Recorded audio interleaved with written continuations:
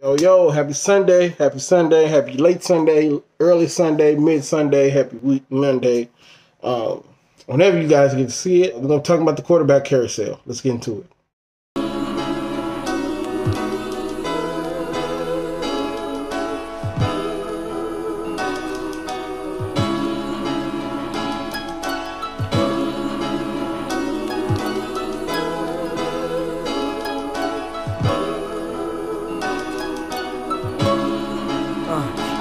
Weed, I told myself the last time will be my last. I don't trust my own niggas, now my mind racing fast. Got my foot up on the gas, got a hundred on the dash. If the police run up on me, I ain't stopping for their ass. Boy, you know my L's dirty. If they stop me, I'm going to jail. Surely I'll be next to my brother in a cell. No bail for me, man, let me out. Send me back to bitches that smell pretty. All I gotta do is call once and she there already. Yeah, buddy. Can't you tell I'm going through hell? I don't even open my mail. I'm in a shower with a soap and a towel. I need cleansing.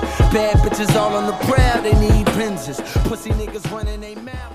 If you don't know my name, my name is Keith. I do Black Quarterback Series. Also did the playoffs throughout the playoffs. If you kind of want to relive the season, I have a whole playlist of Black Quarterback Series from week from preseason, the schedule release all the way up into the Super Bowl. So if you want to check that out and binge watch all that, if you want to get some football nostalgia, go ahead and check that playlist out. But today we're going to talk about um, Cam Newton, Sean Watson, Lil Carson Wentz, and um, Dwayne Haskins. So let's get into it. So the Dwayne Haskins and Cam Newton, I recorded that previously. That was the video I was going to put out this week, but I wasn't really comfortable with the the way um, my mind was at the time. But I do like the content that I got out of it. So I'm gonna show some of that. I'm gonna show the Cam Newton part, and then I'm gonna come back. So before we get started, I want to show you guys two numbers. So I'm to show you two sets of numbers, right? So look at this set of numbers, right? This set of numbers looks much better, right?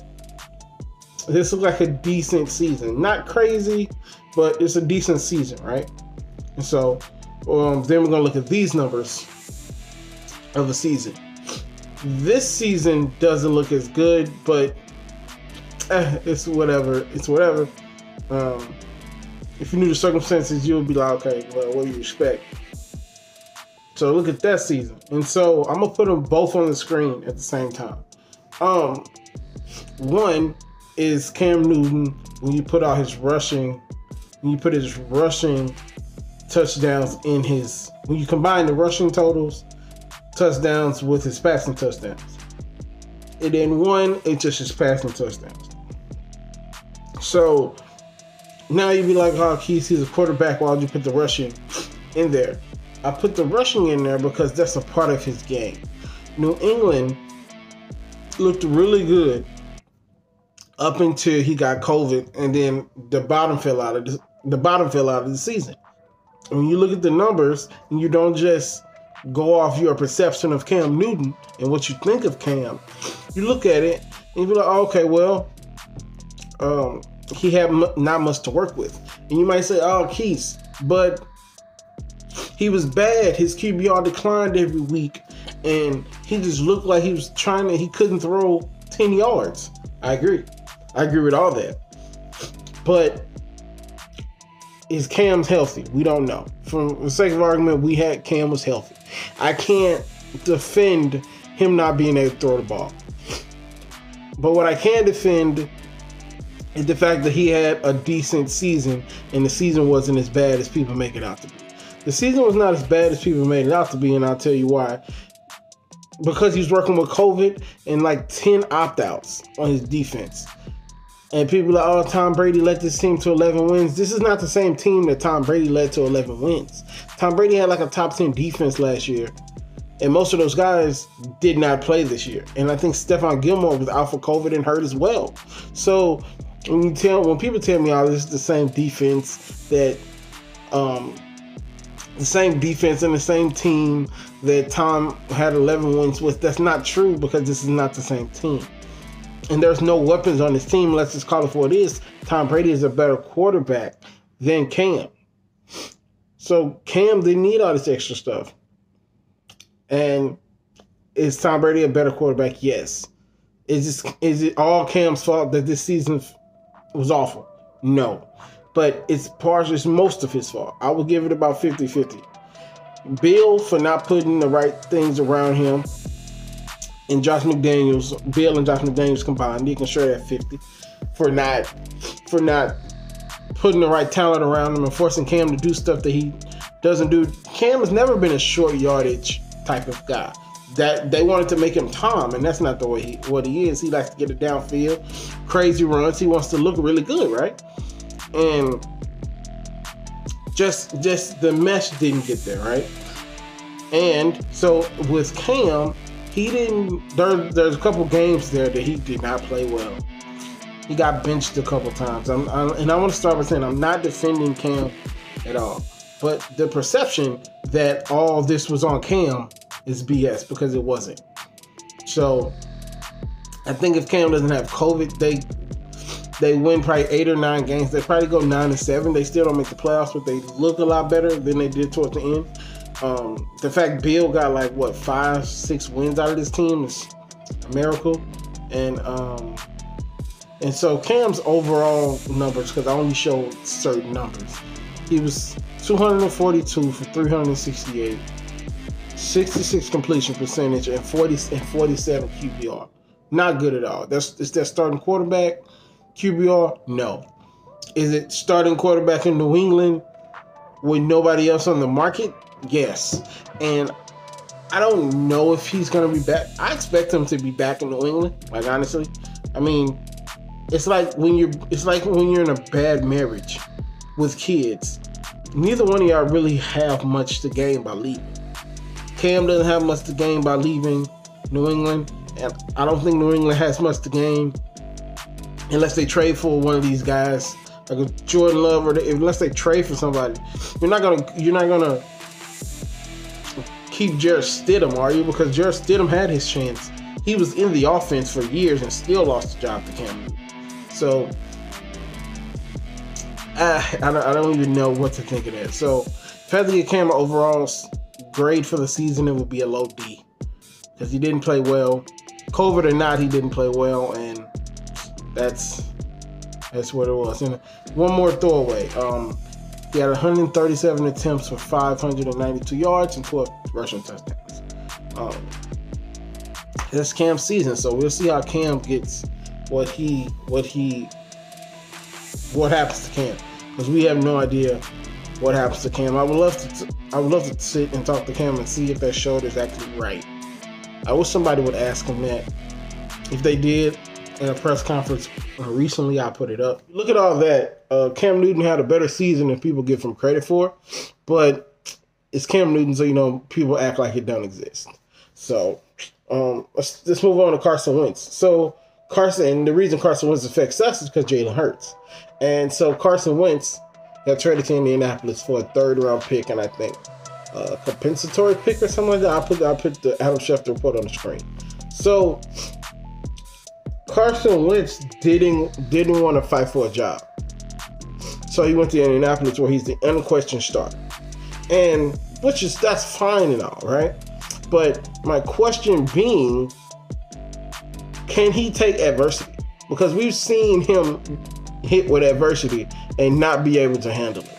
So can you can say if he gets off to an awful start again in Indianapolis, does he go into the tank again?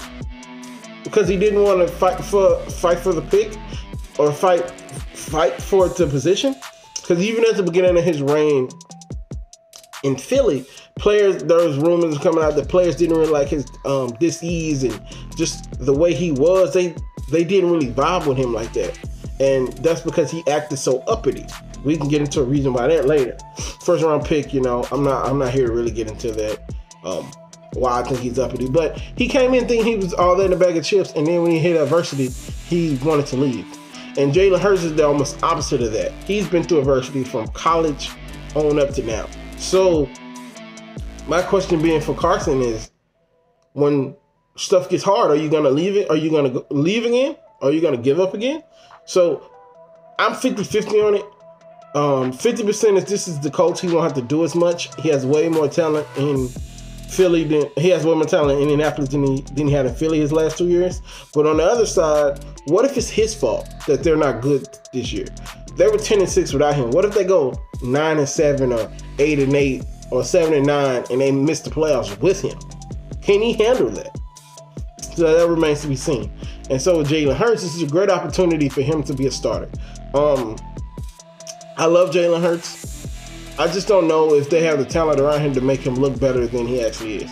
Um, Jalen Hurts is a poor man's Dak Prescott, but Jalen Hurts also possesses the leadership of Dak Prescott. So it's like, can you put your on-field product? Can your on-field product match your leadership quality ability? We've got to have the same questions with Dak. Can Dak's leadership ability, can his play match his leadership ability? So that remains to be seen. I think Jalen Hurts is going to do very well next year. Um, I think he's going to have um, more rushing touchdowns and interceptions. Um, I think he's going to be well. I think he's going to do well. They're going to change their whole offense. I don't know who is going to. I can't remember who's the head coach if they even have a head coach. Um, if they have a head coach, it'd be right here. I'm not sure who the head coach is because they just cleared house in Philly. So they need to give him some more talent. They just released DeSean Jackson. Um, I think his I think DeSean Jackson's career is over. And um, we're gonna get the Dwayne Haskins. My Dwayne Haskins topic. I'm sure that now. To Dwayne Haskins. Let's let's get both of these guys out the way.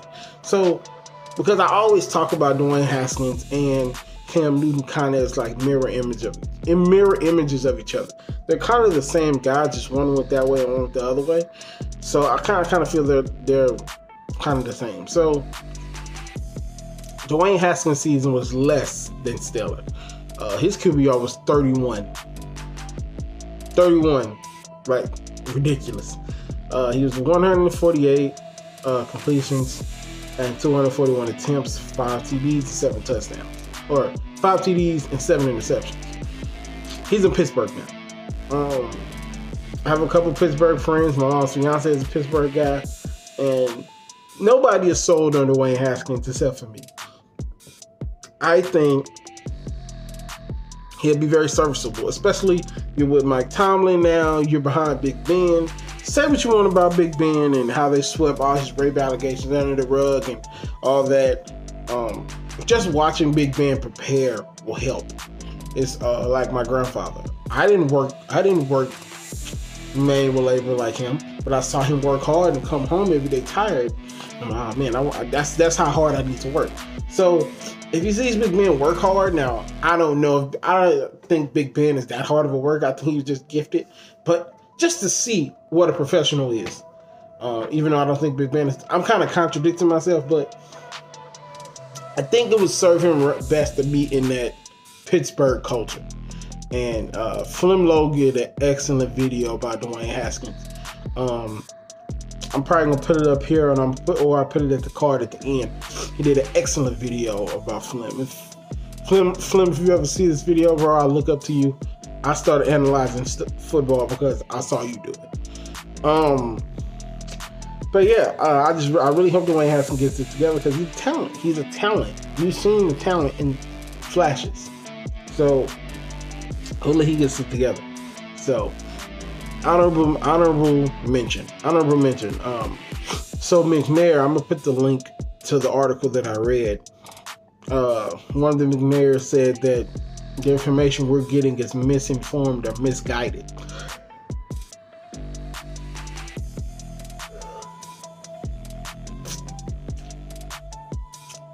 Misinformed or misguided. That's total BS. Because we all know what y'all are on with Deshaun.